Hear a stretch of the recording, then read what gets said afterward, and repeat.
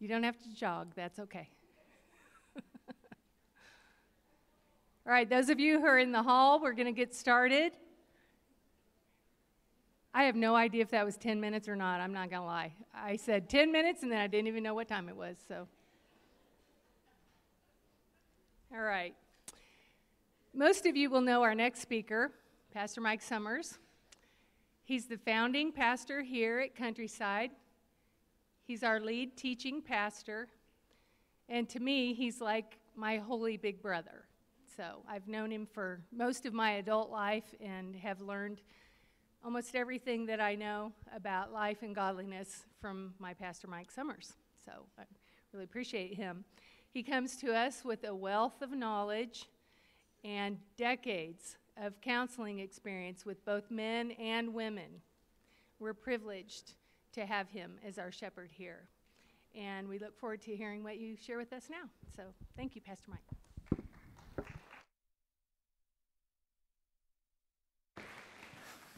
Thank you, Dory. I told someone when I came in here, like, wow, there is way too much estrogen in this room for me. it's good to have you ladies with us. And um, I'm actually very excited about um, our time together in this session. Um, appreciated JD's uh, laying such a, a, good foundation for what we're going to be looking at um, now at this in this hour. Uh, emotions are uh, wonderful gifts from God, aren't they? I mean, uh, who doesn't like to feel joyful, to feel uh, excited, to feel peaceful?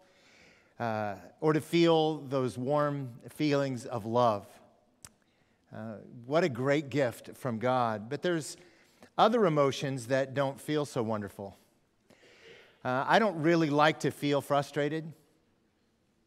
I don't like to feel fearful. I don't like to feel angry. I don't like to feel embarrassed. I don't like to feel disappointed. I don't like to feel wounded or grieved, and I don't like to feel anxious. Do you? But whatever negative emotions we experience, these emotions communicate something to us. They tell us that something is going on within our hearts. That's why God gave us the capacity to feel emotions, even negative emotions. He designed emotions to be like reports that tell us where our heart is at any given moment. So, our emotions, as JD mentioned, are not guides that are to direct us, they are gauges that reveal what's in our heart. The Bible uses a lot of words to refer to that inner you. It uses words like mind and will and spirit and soul.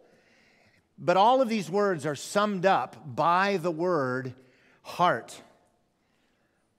When the Bible uses the word heart, it refers to that part of the inner you that reasons, that thinks, that feels, that desires.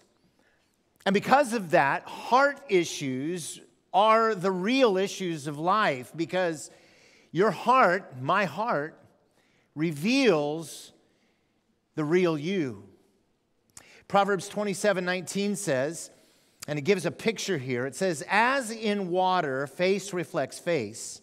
In other words, you look in a pool of water, you see someone looking back at you. So the heart of man or woman reflects the man. Your emotions reflect what's going on in you. So, your heart, that is what you feel, what you think, what you desire, reveal you. Because the real issues in life are not those things who, that happen to us, they are those things that happen in us. And so, what is happening in our hearts is expressed through our emotions. It's common today to hear someone give this advice oh, honey, just follow your heart. Just follow your heart. You think, really? That is actually one of the worst things you could do because, as JD mentioned, the heart is deceitful. Scripture never tells us to follow our hearts. It tells us to, to guide our hearts and to guard our hearts. Proverbs 4:23 says, "Keep your heart with all vigilance." Be vigilant about guarding your heart. Proverbs 23:19 says, "Direct your heart in the way." In other words, guide your heart. Look ahead to see where you need to be going and guide your heart that way. Don't listen to your heart. If you have a Bible with you, I want you to go ahead and turn to Matthew uh, chapter 6.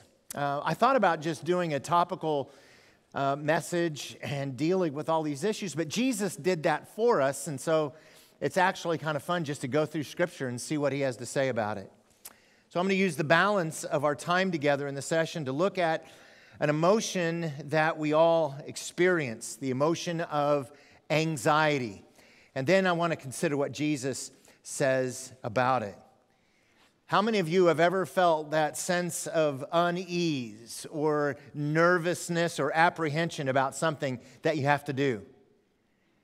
Yeah. Um, how many of you have felt that feeling of worry or foreboding or even panic about an uncertain outcome.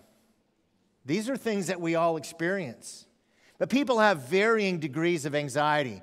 Um, parents tend to worry about their kids, dads are anxious about their jobs, moms are anxious about the family finances, singles are worried about their future.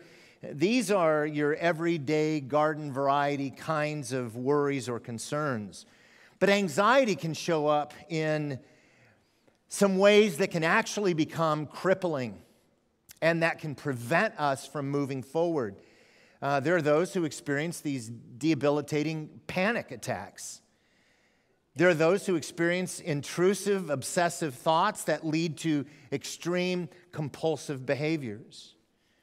So, the emotion of anxiety is something that can affect people in, in varying degrees. So we need to understand why anxiety is expressed in our hearts. David cried out in Psalm 139 23. Listen to what he says Search me, O God, and know my heart. Try me and know my thoughts. Did you know the word thoughts here refers to inner worries or anxieties? In fact, the New American Standard Bible translates it as my anxious thoughts. Know my anxious thoughts, Lord. So we need to understand why we have these anxious thoughts because what they do is they weigh us down, they push us down, they press in on us. Proverbs 12 25 says, Anxiety in a man's heart weighs him down. It's a big deal. This pressure leads to a loss of perspective. Think about the last time that you are really anxious. You lose sight of, of what's really happening because what is dominant in your mind is some other outcome that you get fixated on. You lose perspective of God. Anxiety reveals that we're looking to something other than God to provide what we think we need. You see, when we take things that are, are good, things like children or, or marriage or comfort or security, or friends or beauty or health. And then we look to these things to provide us something, to provide us what only God can provide, then these things actually become idols in our lives. And it's these God replacements that affect our thoughts and our emotions and ultimately affect our actions. So it's important that we understand anxiety, that we understand how this emotion affects us, and what to do about it. Now, in Matthew 6, verses 23 through 34, Jesus addresses this subject. In fact, he uses the word anxious five times in this section. And three of those times, Jesus specifically says, Do not be anxious. Now, there's two main things about anxiety that I want us to consider from Jesus' instruction here. We're going to consider what anxiety exposes and then how we are to deal with it. So, first, consider from Jesus' teaching what the presence of anxiety exposes. What the presence of anxiety exposes. This is in verses 24 through 30. Now, in these verses, Jesus says that the presence of anxiety actually exposes three things about us. What are they? Well, first, the presence of anxiety exposes wrong priorities. When you're anxious, it is actually an indication of a much, much bigger issue. You see, often the reason that you feel anxious is because you're preoccupied with the wrong thing. You see, when we think that anything other than God will provide us security or fulfillment, then that is what we're going to seek. And Jesus says that is what anxiety reveals. Notice he says that anxiety reveals we have divided loyalties. Anxiety reveals we have divided loyalties. We see this in verse 24. Follow along. No one can serve two masters, for either he will hate the one and love the other, or he will be devoted to the one and despise the other. You cannot serve God and money. Now, anything that we put before God becomes an idol of the heart that we devote ourselves to. It becomes sort of a, a protected thing to us. And when that thing becomes threatened, the result is we become anxious.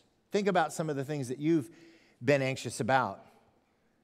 Usually it's about something that we are afraid to lose. It might be losing control of something, or losing our health, or losing a relationship, or losing a job, or losing something that makes us feel secure. And these things that we are afraid of losing are the things that we give ourselves over to serve. You see, Jesus tells us that whatever we value the most is what we are going to serve, and that's the issue. We don't have the capacity to serve two masters. You see, if, if we exalt personal security, then we become a, a slave to whatever we think will make us feel secure. And when something then threatens that security, we become anxious. If we exalt our, our health, then what happens is we can become a slave to our health, and when something threatens that health, then we become anxious. Now, the fundamental problem with becoming devoted to those kinds of things is that what it does is it relegates God to second place. So when you're anxious, Jesus tells us, it reveals you have divided loyalties. But anxiety reveals something else. In verse 25, we see that anxiety reveals we have distorted concerns. We have distorted concerns. If you have divided loyalties, it's only natural that you're going to have divided or distorted concerns. Look at verse 25. Jesus says, Therefore, I tell you, do not be anxious about your life, what you will eat or what you will drink, nor about your body, what you will put on. Is not life more than food and the body more than clothing? See, Jesus essentially is saying here that your anxiety is the result of being concerned about the wrong things. You see, you think life is all about what you need physically, but your life is much more than what you eat or what you drink or what you put on the body. Jesus says, therefore, stop being anxious about your life materially. When was the last time that you were anxious about food or drink or clothing? My guess is probably never. The basic necessities of life are really not the kinds of concerns that people in Johnson County, Kansas have. It's not the kind of things we tend to worry about. We've got more food than we could ever consume, and we've got more clothes than we could ever wear. So the things that we tend to be anxious about really aren't the basic needs of life. But I think what this means is that what Jesus says here is a really strong indictment on those of us who get anxious about life's non essentials, isn't it?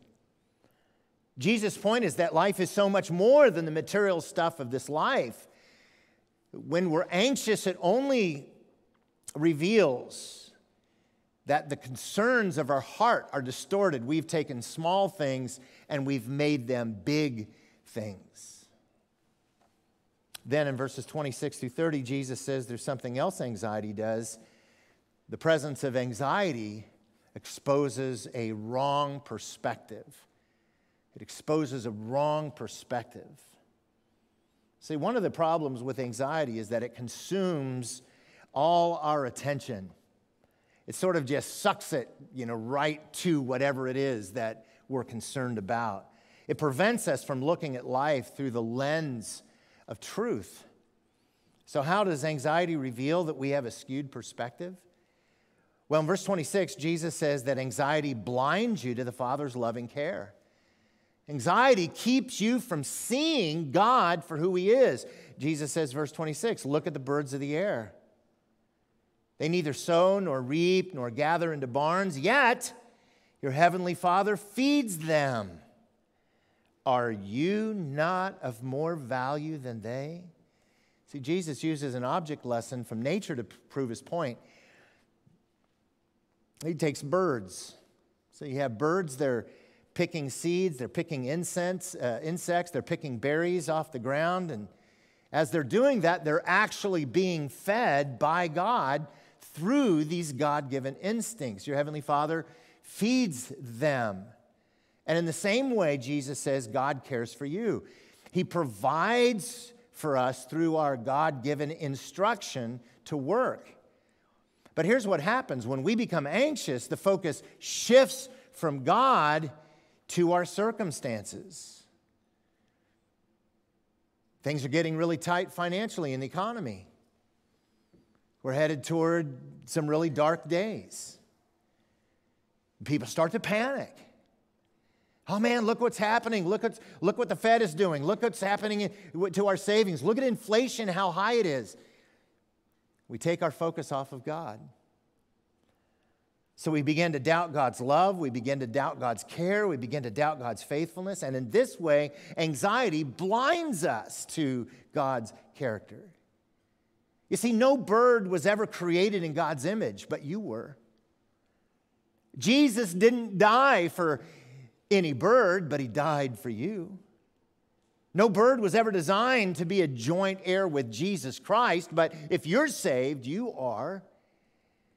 So if God sustains the life of a bird, why would you be anxious over God's care for you? That's what Jesus is saying. Anxiety keeps you from seeing that you're valued by God. How many of you know that when you become anxious that you actually are consumed by that feeling of anxiety? Right? Anxiety keeps you from seeing in that moment that you're valued by God. But notice that it not only blinds you to the Father's loving care, secondly, it blinds you to the Father's sovereign control. It blinds you to his sovereign control. Look at the next verse, verse 27.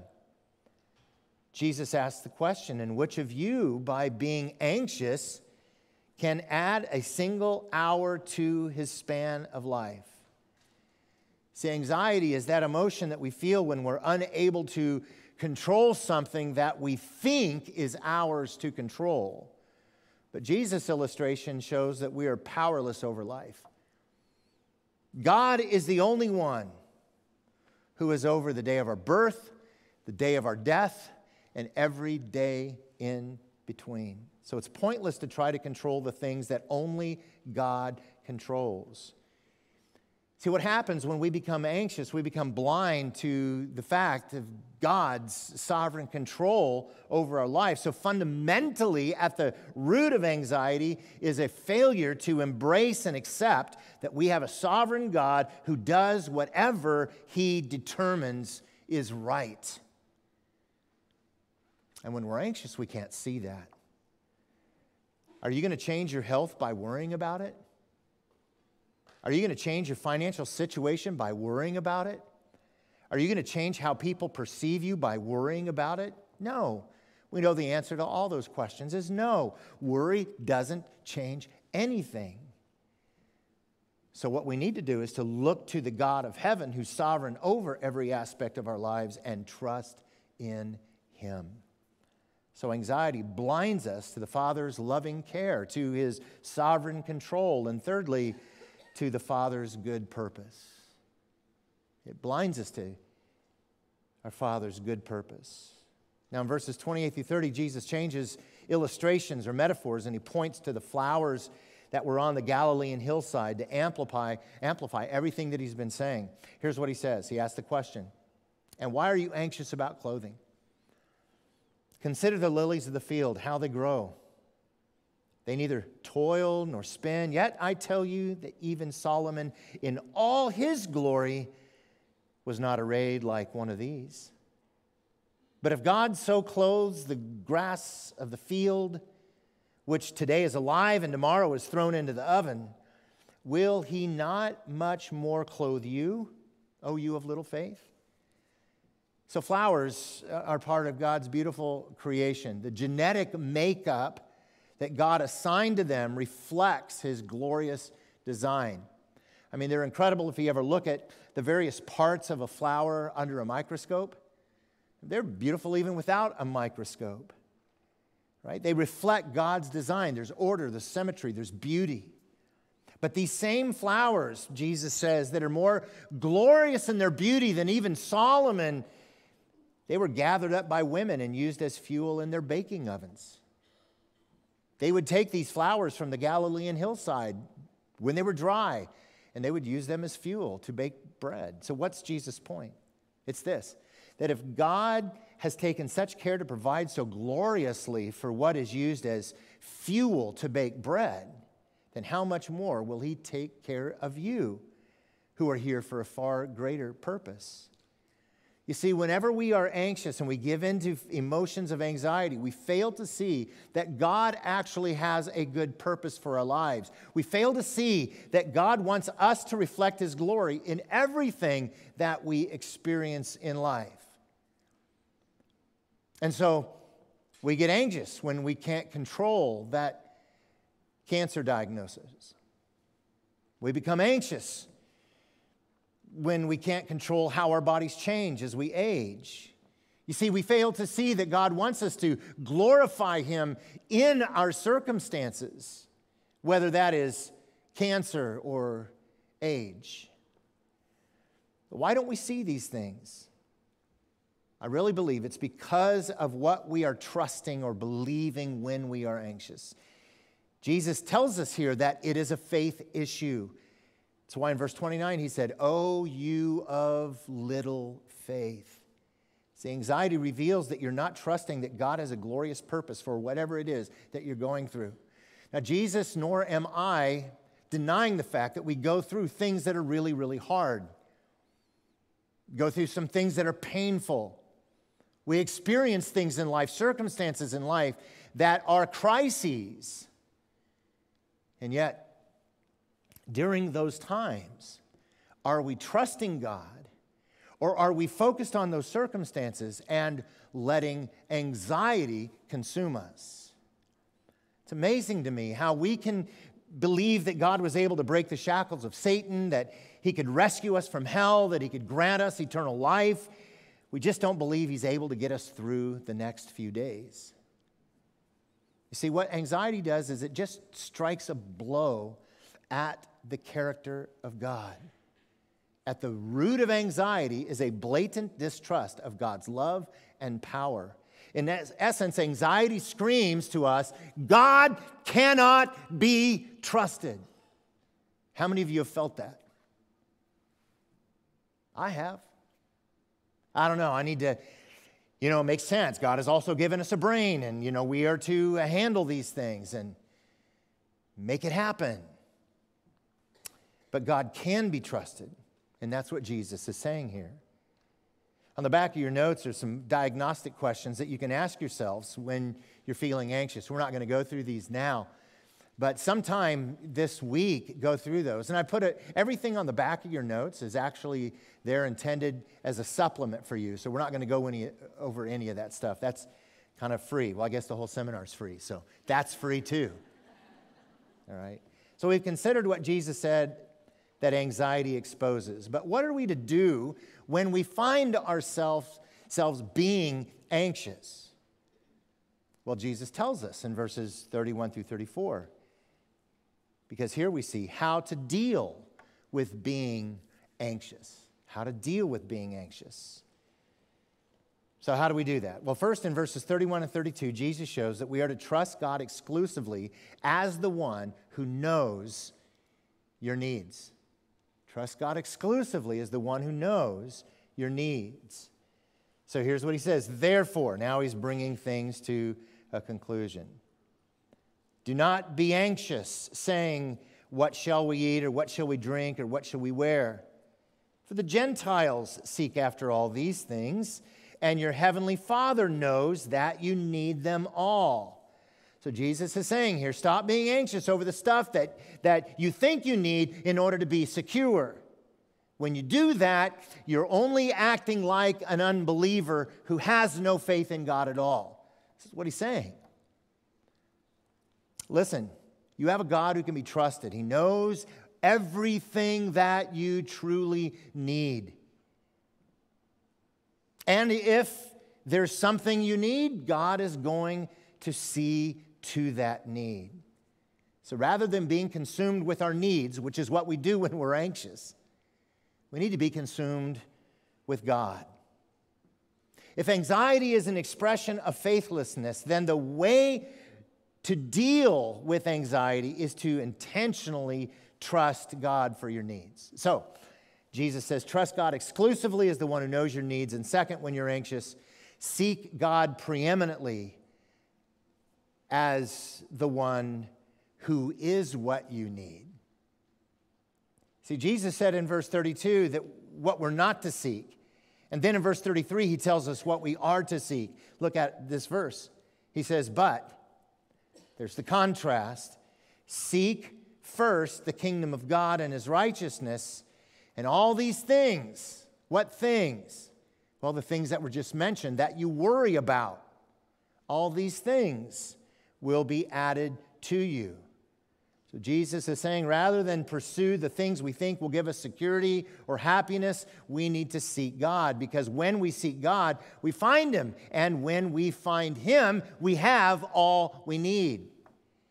See, when you set your desires on Christ and He becomes what you pursue, then you find lasting peace. You find contentment, right? How? Well, because all of the security and satisfaction that you actually long for is found in Him. So I see people, even believers, who are just clamoring around, looking scraping, trying to find something that they, they think they need, and that's what they're pursuing. They're going after it, they're chasing it. And Jesus says, No, seek first the kingdom of God and his righteousness. So pursue God as your greatest need. When you're anxious, trust God exclusively, seek God preeminently, and finally, in verse 34, when you're anxious, follow God faithfully as the one who handles what you need. Follow God faithfully is the one who handles what you need. So, verse 34, he says, Therefore, do not be anxious about tomorrow, for tomorrow will be anxious about for itself. Sufficient for the day is its own trouble. So he's just mentioned all these things we're anxious about, and we find now that what people were anxious about them was if they were going to be there tomorrow. Am I going to lose my security? Am I going to lose my food? Am I going to lose my, my clothing? Are they going to really be there tomorrow? Jesus says, don't be anxious about tomorrow. Jesus doesn't tell us to forget about tomorrow. He tells us to not be anxious about tomorrow. Why? Because here's the deal you are not living in the realm of tomorrow, you're living in the realm of today. That's all you have today, this moment, right now. So rather than speculate on what may or may not happen tomorrow, focus on where you are with God today.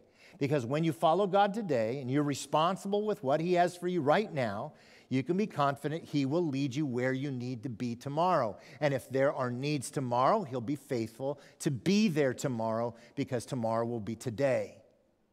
Tomorrow, when you're there. See, God gives the exact grace we need when we need it. If you're facing something today, God's grace is sufficient for today. And if you need God's grace tomorrow, it'll be there tomorrow.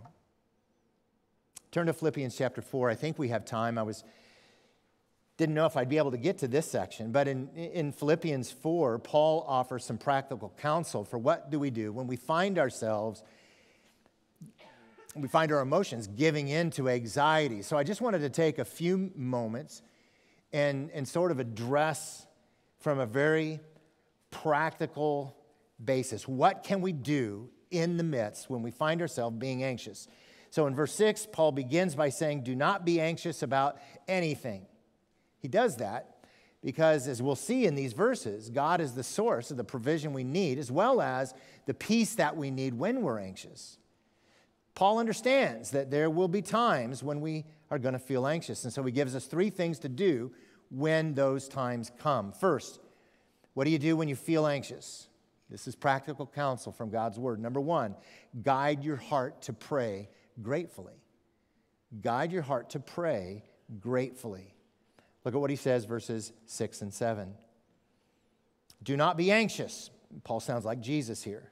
Do not be anxious about anything but in everything, by prayer and supplication, with thanksgiving, let your requests be made known to God. And the peace of God, which surpasses all understanding, will guard your hearts and your minds in Christ Jesus.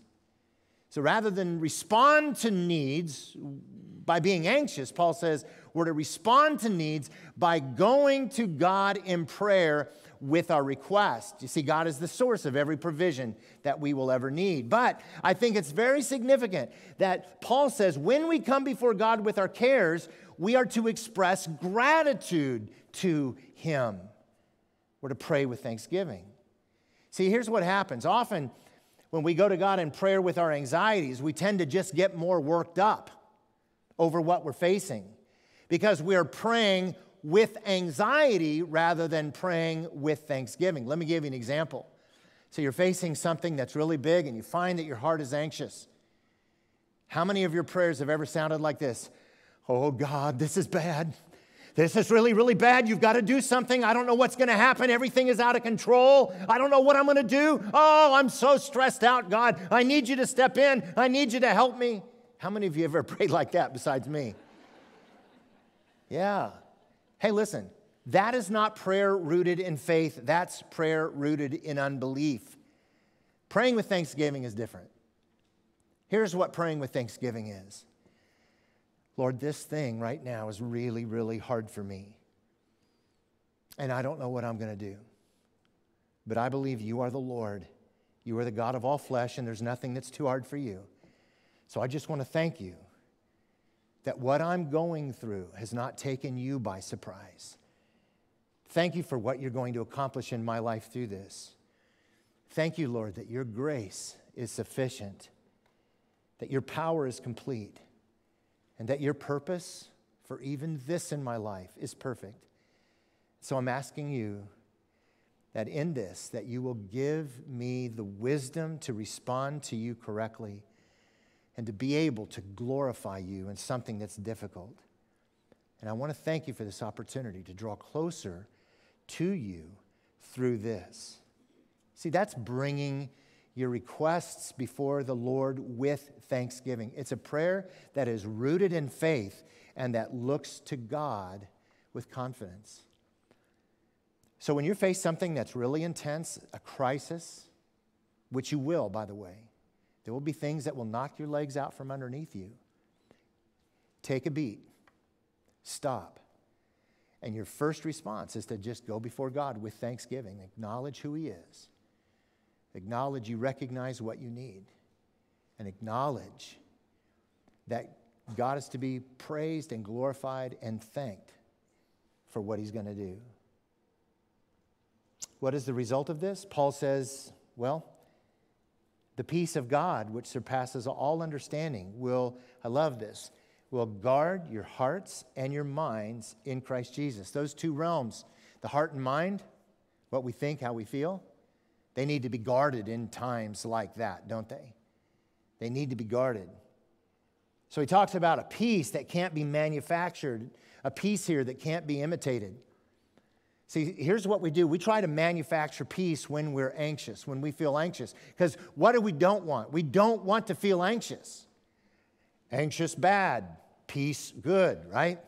We know that. So we think that the goal is to not be anxious and to be at peace. And so we'll do anything to try to get from that place of anxiety and find that peace. Maybe you've seen the, t shirt that says, My doctor told me I'm not to keep my emotions bottled up. That's why I opened the bottle. So a lot of people do that. They'll chase, uh, you know, um, starts out just maybe a glass of wine or two or three, then becomes a bottle or two, and then becomes a daily thing because what am I, what am I after? I just need to chill. I just need to be peace. Um, or maybe they'll turn to yoga or turn to some kind of, of thing to manufacture peace. God is the source of our peace. You can try all the therapies that are available to manage your anxiety, but you'll never experience the kind of peace that surpasses all understanding because this peace only comes from God Himself. Notice what this peace does it guards your hearts and your minds. In other words, God's peace works for you and it works in you. I love this word guard. It's a military term that expresses security and protection. So the peace of God actually stands guard over the inner you, your heart and your mind, as you bring your anxieties to God in prayer. God cares about this stuff. So when you feel anxious, guide your heart to pray gratefully. First, that should be your first response. It should become the default button.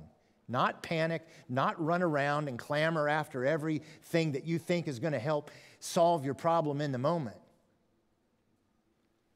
but to look to God. Second, when you feel anxious, guide your mind to think biblically.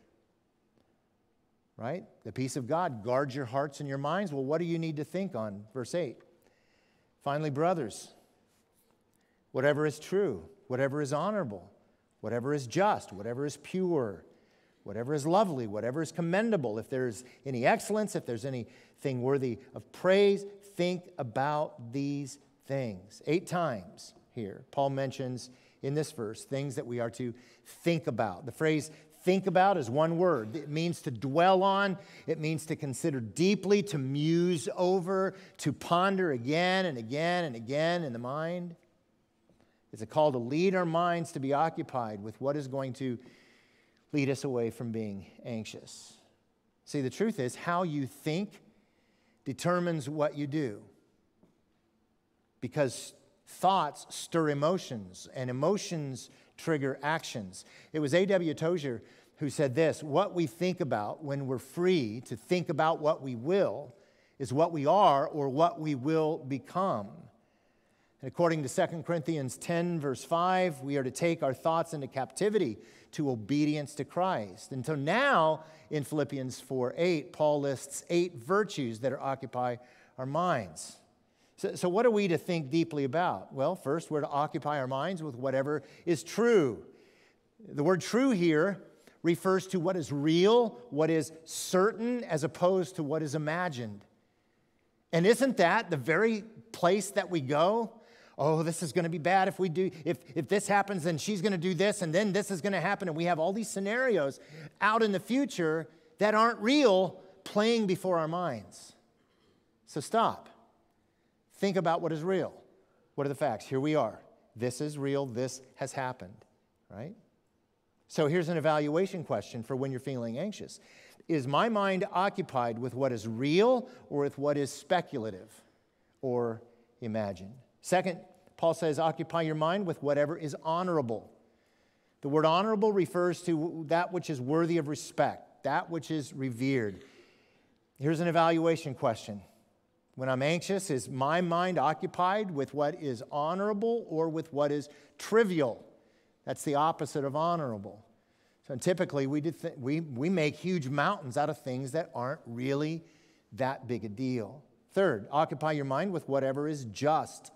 The word just refers to what is upright, that which is consistent, in other words, with God's standard. This would include things that are consistent with God's character.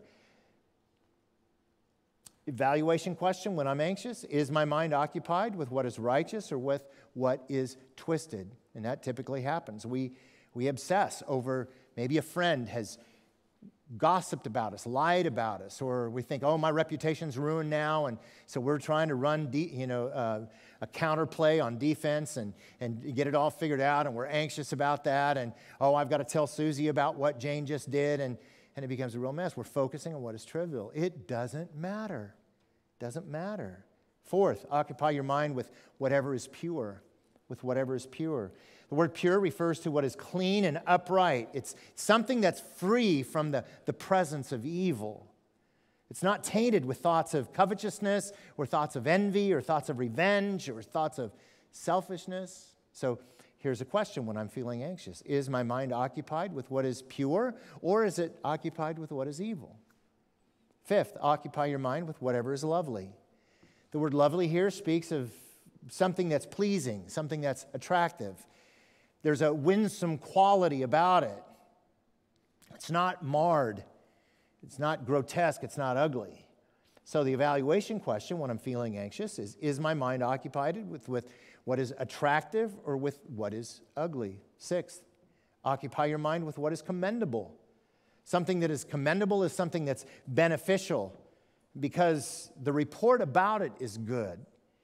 It's not something that is known for tearing down, but it's known for building up. So, an evaluation question is Is my mind occupied with what is helpful or with what is destructive? Seventh, occupy your mind with what has, with what has excellence. The word excellence refers to what is whole or complete, refers to something that's working as it should. If I took out a, a, pocket knife that was dull and it wouldn't cut anything, that is not an excellent knife. But if I pulled out a pocket knife that was razor sharp and that cut that did what it's supposed to do, that's an excellent knife. That's the idea. In a moral sense, it refers to what is right.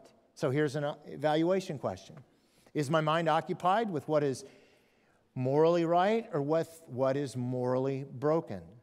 Finally, he says, occupy your mind with anything that's worthy of praise. Something that's worthy of praise is recognized as something worth praising God for. So these are the things that we see God doing that we're to praise Him for. So, an evaluation question is Is my mind occupied with what God is doing that is worthy of praise, or with things that others are doing that is dishonoring? See, all of these things help me to keep my focus on God. So, what is it that fits that grid? What are we to think upon that could be consistent with these things? Well, we ought to dwell on who God is. Dwell on who God is. Because Isaiah 26, 3 says, You will keep him in perfect peace, whose mind is stayed on you because he trusts in you. Look at those two things perfect peace, mind stayed on you. There's a correlation there, right? Second, dwell on what God does. Dwell on what God does. Psalm 143 5. The psalmist says, I remember the days of old. I meditate on all that you have done. I ponder the works of your hands. That's what I'm thinking on. God, what are you doing? So I can thank Him, so I can glorify Him, so I can praise Him. Third, dwell on what God said. Dwell on what God said. So, the man who's blessed, according to Psalm 1, is the man who walks not in the counsel of the wicked, or stand in the way of sinners, nor sits in the seat of the scoffers. But, notice this his delight is in the law of the Lord, and on his law he meditates day and night. So, think on, dwell on, ponder what God has said. So, when you feel anxious, Paul says, guide your heart to pray gratefully, discipline your mind to think biblically. Thirdly, finally, when you feel anxious, guide your life to live obediently. He finally says in verse 9, What you have learned and received and heard and seen in me, practice these things, and the God of peace will be with you. So the emphasis in the verse is on the verb practice. When we feel anxious, it's actually a call to action. Remember, our emotions, anxiety is like a guide. It's telling me something about what's going on in my heart. So I'm feeling anxious, and I know I'm feeling anxious because I'm stressed out. I can feel my heart beating faster, my breathing is getting deeper, my stomach is kind of feeling icky. I'm anxious, I'm stressing, I'm sweating. What is this about? Oh, yeah, remember that ladies' seminar? That guy said, Stop. Your anxiety is telling you something. My perspective is skewed. Something is off in my life. What do I need to do? Oh, yeah, I remember. I need to take a beat and I need to seek God and I need to pray to Him with thanksgiving. And I need to think of what God's word says. And I need to live in obedience to His truth. So, when we are anxious, it's a call for us to put into practice truth that we have learned. Too often, when we're anxious, uh, it's because we're doing the wrong things. We're out of bounds. And, and our emotions are telling us, I feel a little bit awkward here. This isn't right. I'm getting a little bit nervous. And we can either become paralyzed and do nothing. In our anxiety, our thoughts sort of just freeze up. And we, uh, and we're just toast. I remember, well, I won't go into that story. Um, second, we may panic and try to do everything. I mean, we're just, it's like panic. And so we're running around trying to control everybody and everything and make sure everybody knows how we feel. And, and we're talking them, you know, a, a mile a minute. We're just, we can't shut up because we go into action and control becomes our default. But Paul gives three ways that we're to guide our lives to live biblically. First, he says, practice what you've learned.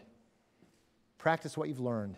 The word learn means to come to a place of understanding through instruction. These are the things that you have come to understand as truth has been explained to you. Uh, if you're a Christian, you are a learner, you're a disciple. That's what a disciple is, which assumes you've learned some things in your Christian life. You sit under Bible teaching. Um, some of you listen to teaching online throughout the week. You may even do weekly Bible studies. Uh, Paul's emphasis here isn't on learning more truth, it's on putting into practice the truth that you've already learned. See, there's the deal. You can know the Bible from Genesis to the maps. But if you're not putting it into practice, then your knowledge is in vain. So take what you already know out of the realm of theory and put it into practice in your life when you feel anxious. So put into practice what you've learned through the explanation of biblical truth. Second, Paul says, practice what you've received. Now, what you've received here refers to what you've taken to yourself and indicates that there's certain truths that you not only know intellectually, but you own personally. These, these are truths that, like, you are founded on. These are, the, these are the kinds of verses that you've got tacked up on the mirror in your bathroom. It's the plaque that's over by the refrigerator. This is such a part of your life now that it's your truth. Paul's saying, put it into practice. You own it, do it. Thirdly, he says, practice what you've heard. He's not saying that we're to put everything we hear from everyone into practice. He's saying, listen, put into practice from those that you've heard who are spiritually responsible for you. That would be your pastor, a biblical counselor, or somebody that's a you know, mentor to you. And the things that they have shared with you to help you grow, put it into practice. And then he says, practice what you've seen. And he puts himself up as an example. You're to put into practice the truth that you have seen lived out through others who are taking God by faith and obeying Him. What are they doing? Uh, that's what I'm going to do. I'm going to do what I've seen. And what's the result of all this? Well, it's the spiritual stability that comes from the overwhelming peace that the God of peace brings. He says, The God of peace will be with you.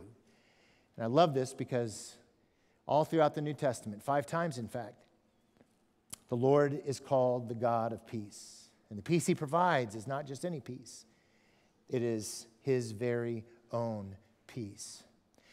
So we all get anxious, and I thought dealing with emotions, we just look at one, which is anxiety.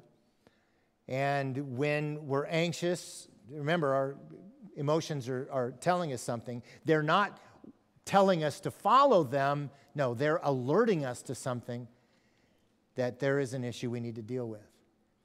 Um, maybe your perspective is skewed and you need to recenter. So, hopefully, some of these things will help you. And on the back, you can go through some of those diagnostic questions and help you. I think we're going to uh, break here for, um, let's just take seven minutes. I'm looking at this. It says it's 11:10, so by 11, let's make five minutes. 11:15, we'll be back in here for the Q&A. So get a drink, go to the restroom, uh, fellowship. We'll see you back here in a little bit.